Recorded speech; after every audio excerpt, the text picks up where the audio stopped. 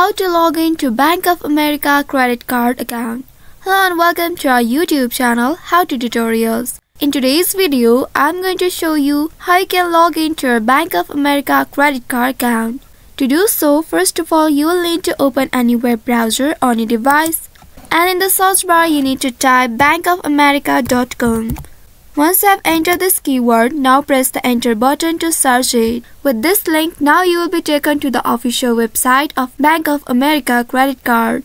Here on this homepage, you will be presented with the login interface at the left side, where you will need to enter your user ID and password in order to log in to your Bank of America credit card account. In this first box, enter your user ID and in the second box enter your password. You may also click on this little square that says save user ID if you want to save your user ID for future logins. And in case you forgot your user ID or password and couldn't log into your account, you may also click on this forgot ID or password option or the link at the bottom and then from there you can follow the instructions to retrieve them.